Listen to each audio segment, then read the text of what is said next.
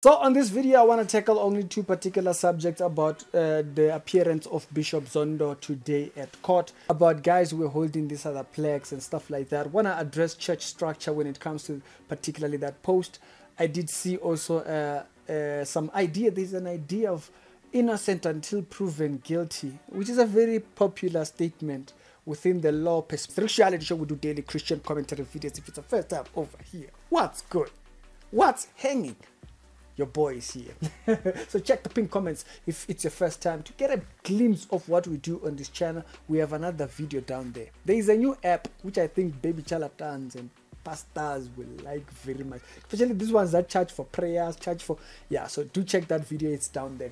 And so the first post, um, there is this post of this young man holding banners and stuff. The first one says government failed uh, the rivers of murky waters uh, church employs me. Now, the particular young man who's holding that particular pamphlet, I don't think he's employed by church. No, he might be. But most church structures, when they employ young people like this, they don't even, you are not even registered when you are employed by a church in many cases that so that when you are fired you can go back and you know ccma yourself. But people like you they get fired and it never gets heard. But there was another poster there which says who is going to pay for my university fees? Uh, is this young man going to university? That's that would be the first question. Now if he is we'll then have to delve into the subject of church structure and finances. That's why churches have boards Uh, the church is not the pastors. The law system has something to tackle or discuss with the bishop. It's with the bishop, not the church. So you see, the church is still there. When bishop is busy doing these things, you will still have your pastors over there. You will still have your mamuruti over there. So you can still conduct your church business. But the issue here would be that when we start talking or when the CRL was going on and people were talking about how the church finances are not particularly managed by the church board or finance board it's managed by him.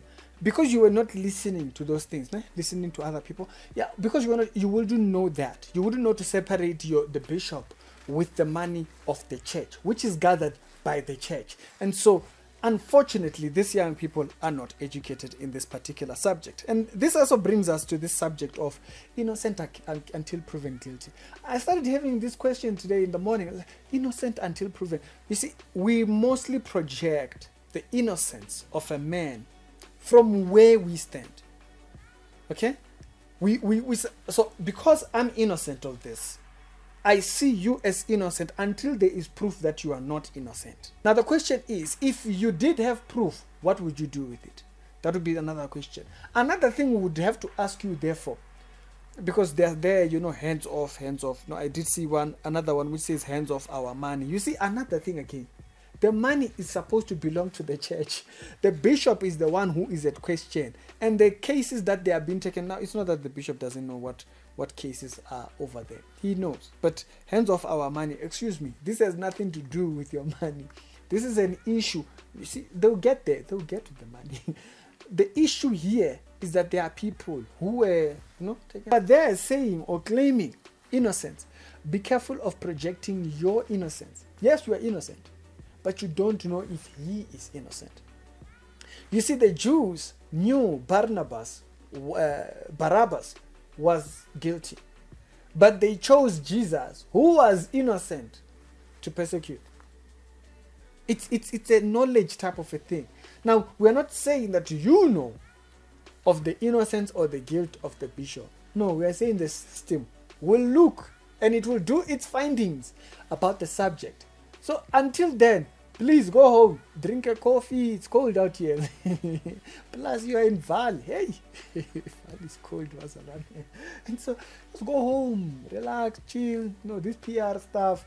Your your empathy does has nothing to do with the evidence that will be presented over there.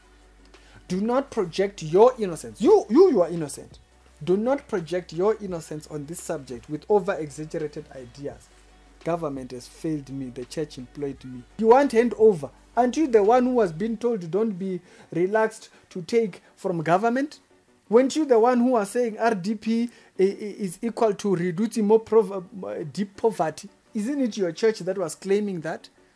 It is you. So now why do you still look unto the church? Why do you still look unto government while uh, the church is supposed to be a structure of refuge? Right here, you are claiming that the church has your money. Exactly. We are saying that the church, which is the rivers of murky waters, in the possession in which it is, there are things that are not under the church, they are under the bishop. That's what was said at the CRL.